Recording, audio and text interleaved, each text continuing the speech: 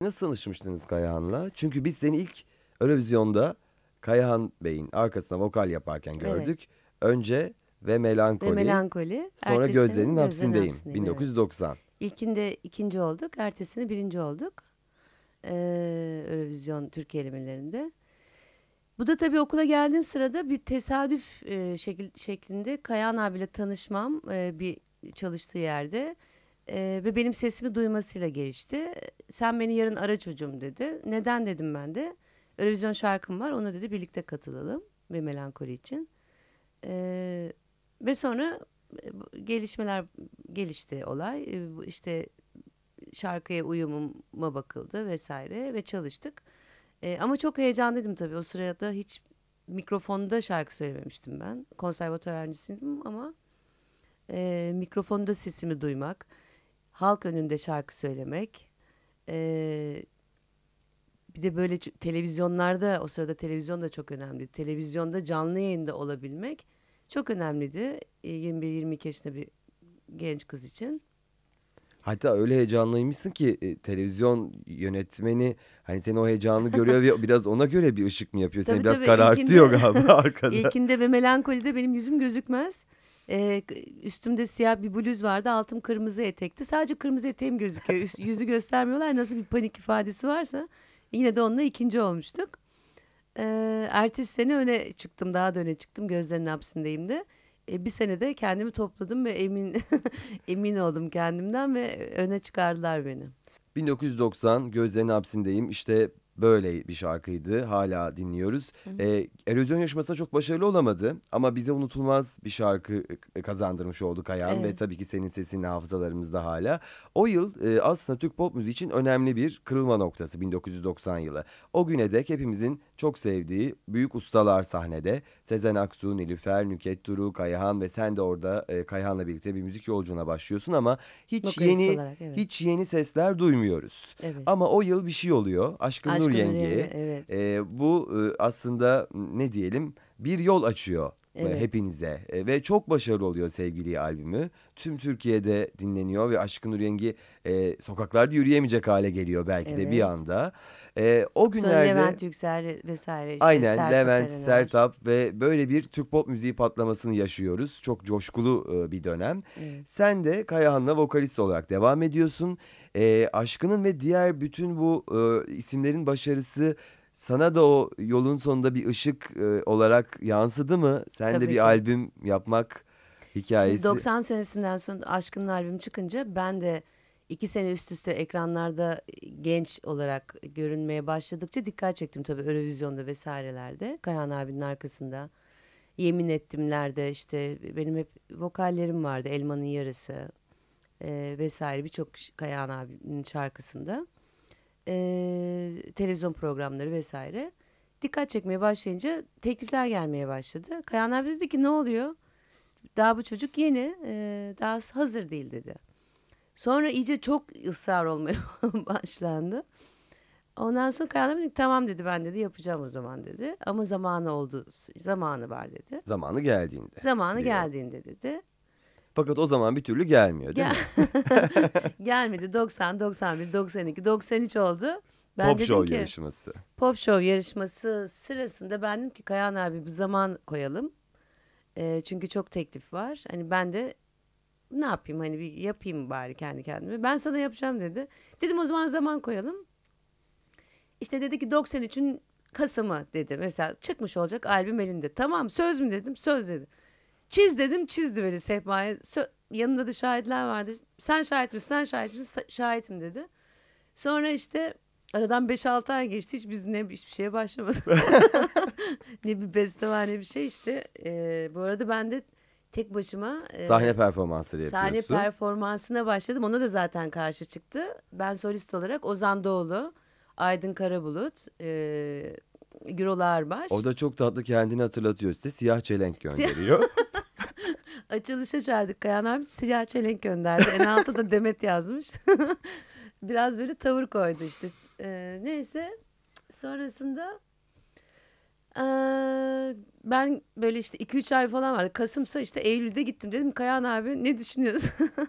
Albümle ilgili hani benim albümüm. Yapacağız dedi. E dedim 2 ay var. Hani hiçbir şarkı yok, beste yok. Ya dedi yapacağız dedi işte ben sana yapacağım dedim. Dedim ama peki hatırlıyor musun bak işte bir buçuk sene önce hani şurayı çizmiştin. Ya dedi sehpa değişti dedi. Dedim ha öyle mi? Peki dakika Kayan abi yanındaki diyorsun şahit misin? Şahitim evet. Tamam tamam dedi yapacağım. Dedim Kayan abi vallahi kusura bakma ben de değiştim. Çelik'te değişti gibi oldu bu da. ee, sonra Kayan abi işte biraz küstüm ona.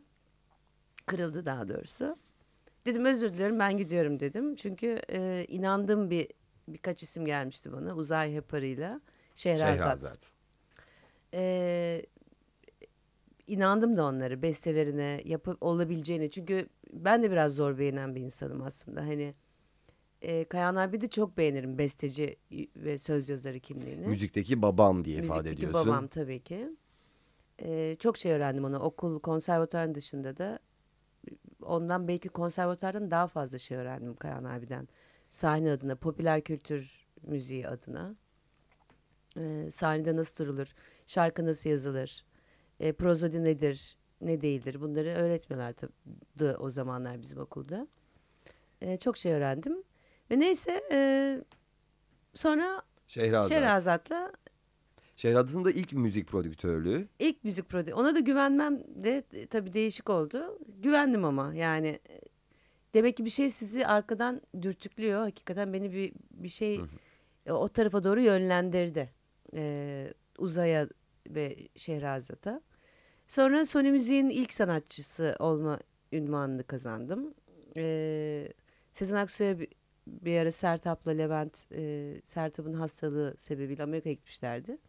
Sezen'in 24 günlük ya da 21 günlük bir Rumeli Sarı programı vardı. Arka arkaya. Ee, sen dedi bana eşlik eder misin? Ederim dedim. Hani benim için büyük şereftir. Kayan abiyle de zaten küsmüşüz. Küstü bana. ee, orada mesela e, Sezen'le işte çalıştım. 21, 21 gün üst üste. Çok büyük konserler oluyordu eskiden tabii böyle. Ve full evet doluyordu hatırlıyorum. Rumenistan'da 21 gece Sezen Aksu'nun 21 üst gece, üste evet. çıktığı Kayan abiyle biz çıkıyorduk Kayahan. 15-20 gün üst üste hepsini alsam. Sonra oradan Bostancı Gösteri Merkezi'ne geçiyorduk. Yine iki hafta, üç hafta. kışlık bir ay. yazı bitirip Evet, tabii. Ee, ilgi alaka çok yüksekti, büyüktü. Ee, o sırada mesela Sony Müziğin genel müdürü izlemiş beni ve bizim ilk sanatçımız Demet olmalı demişler. Her şey birbirine bir şey e, ne güzel ilkler bağlı var aslında. Evet, ha- hayatta. O da ona vesile olmuş oldu. Sezen'in e, Sezen de buna vesile olmuş oldu. Benim orada o konserlerde çıkmam. Sony Müziğin ilk sanatçısı oldum. Ve Şehrazat'la ve Uzay Aparı'yla. Ve bu albüm e, şimdi 1994 yılında yayınlanıyor. Şimdi şöyle bir bakalım neler olmuş.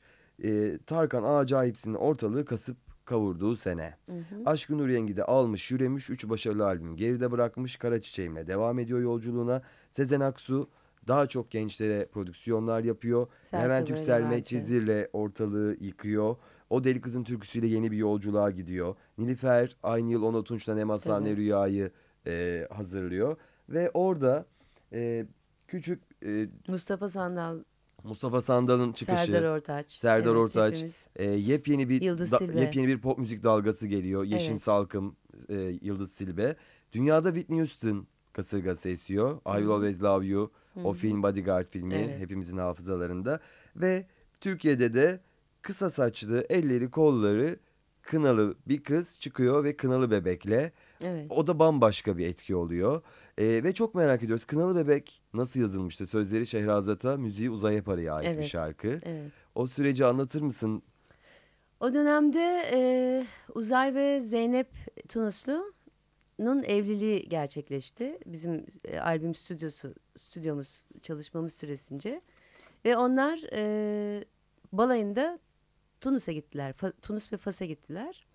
Orada da bu ellerine kına yaptırmıştı Zeynep. Orada biliyorsun Kuzey Afrika'da e, ellerine kına yakılır. Ve biz bundan etkilenerek, Şehrazat daha doğrusu, bundan etkilenerek bu şarkıyı oluşturdu Uzay'ın bestesinin üstüne. Ee, sonra da e, kınalı halini de benim ellerimin kınasında annem de benim güzel sanatlar me- mezunu. Böyle çay kaşıklarıyla arkasında böyle saatlerce tutarak tabii o zamanki kına yapılış modelleri şimdiki kadar e, kolay ve çabuk değildi. Şablonlar yoktu. Ee, annem yapmıştı. Öyle e, bir imajım oluştu. Annemden de kaynaklanan. Kayağına müzikteki babam dedim. Müzikteki annem de Şehrazat'tır. Evet gerçekten de çok başarılı bir albüm oluyor. Ee, sadece bu şarkılar değil elbette. Yağız'ım, burada söz Sezen Aksu, müzik Şehrazat. Yine Uzay Yapar'ı düzenlemede görüyoruz. Hazan Mevsimi çok seviliyor. Bu senin e, söz ve müziğin olan bir Evet. şarkı. Yadigar, e, Bir Çare, keza Evet. yine hepsi büyük ses getiriyor. Ve bu albüm elbette ki Uzay Yapar'ının da e, kariyerinde en önemli albümlerden biri. Ama e, ne yazık ki bu albüm döneminde e, onu da... E, ya ne yazık ki bu albüm döneminde Uzay'ı kaybediyoruz. Ee, zannediyorum birlikte çalıştığınız bir dönemde albüm aslında e, yarım mı kalıyor çalışmanız? Onu tam nasıl oluyordu? Albümün e, son vokal kayıtlarındaydık ya da birkaç tane akustik kaydımız kalmıştı. E, vokal kayıt derken back vokallerin. Hani okunmuştu bütün şarkılar. E, işte bazı şarkı o gün mesela birlikteydik stüdyoda. Özkan gelmişti. Özkan Uğur. Vokale Kenan gelmişti Doğulu. Yıldız Tilbe vardı. E, oradan çıktık e, akşamüstü. Dedik ki akşam artık bitmesine yakın olduğu için albüm. Akşam buluşalım. Ben de o sırada Fenerbahçe'de oturuyordum. Karşıya gideyim geleyim hazırlanayım. Akşam çıkalım bir yerde kutlama yapalım dedik. Ee, işte akşam m, geldiğimizde yolda haber aldık. Mesela Yadigar yine benim bestem. Yadigar'ı bu kadar birebir aynısını kafamdaki anlattığımla aynı yapan çok çok az yani bu o zaman e, tanıdım ben Uzay'ı. Bu ve ondan sonra asıl benim profesyonel yaşantım oldu. Birçok aranjör, bir- birçok müzisyen tanıdım, müzik adamı tanıdım. Hakikaten uzay kadar yeteneklisini tanımadım denilebilir. Ve geliyoruz 1996 yılına. Dünyada Seal ve Alanis Morissette rüzgarı esiyor. Ee, müzik başka bir yere gidiyor. Türkiye'de de birçok şeyler oluyor ama çok önemli bir şey daha oluyor. Kayahan'la barışıyorsunuz. Ne olur diyecektim. evet, Kayan abiyle barıştık. Ve Kayahan e, bu albümde e, seni e, desteklemeye, yeniden desteklemeye e, karar, Karar veriyor. evet. E, ve iki şarkı veriyor sana. Şikayetim var. Yalnız bu albüm. çok önemli bir ayrıntı biliyorsun. Kayan abi eee, Şeyi anlatır mısın? Kınalı Bebek albümü çıktı ve sen e, Kayahan'a e, soruyorsun. Albümü dinledin mi Kayahan abi? dinlemedim dedi. Klibi gördün mü Kayan abi dedim. Görmedim dedi. Peki Arnavut kaldırımını onu da görmedim. Nasıl olur diyorum ya. Nasıl? Ama Kayan abi şöyle bir durum vardı. Hakikaten de televizyon açılmazdı. Açmazdı yani televizyon izleyen bir insan değildi. Etkilenmemek için. Müzik de öyle hani radyo açayım bilmem ne açayım onları da pek dinlemezdi ama dışarıda çıkan sosyal bir insan olmadığı için ya teknesinde olurdu ya evinde gitar çalar. Elinde hep gitarı olurdu. Şimdi o açıdan biraz inanıyorum hani açıp da bir müzik hani sound di- dinlememek için. Kulağında çünkü kulağımda bir şey kalır, kalır çalarım kırsız kulak olur etkilenirim diyordu. Tamam ondan hak veriyorum ama sonuçta teknesine oturup bangır bangır o dönem Her yerde sen her yerde çalıyorsun. ben çalıyordum yani neredeyse hani 3-5 şarkıda bir. Ee, ya da hani bir insan bir merak eder ne yaptı bakayım bizim kız Bir alır dinler değil deyip mi? hani bir en azından dinlemedim demesini ben biraz hani kız yine hani o şey olarak düşünüyorum. Tabii çok şahsına münhasır bir e, adamdı. Küsmeleri de çok şahsına Şa- münhasırmış. Şahane bir insandı evet. Ko- komikti de. Şimdi o zamanlar tabii kızıyorduk ediyorduk ben ayet falan diye durumundaydım biraz. Ee, ama şey e, Ama şimdi düşünüyorum tabii çok komik Sonra. günlermiş aslında ona. Hani bakınca çok kom- komik güzel yani şeker günlermiş. Ama sonra nasıl barıştınız? Şikayetim var Sonra biz benim şarkılar. menajerim, onun da menajeriydi e, Süheyla yenge.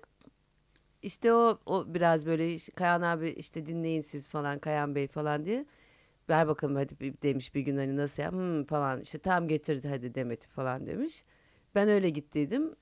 E, aferin çocuğum işte güzel işte tam şey yapmışsın hani hani bekleseydin biz yapacaktık ama hani bu da fena olmamış falan gibi. Öyle mi dedi sahiden?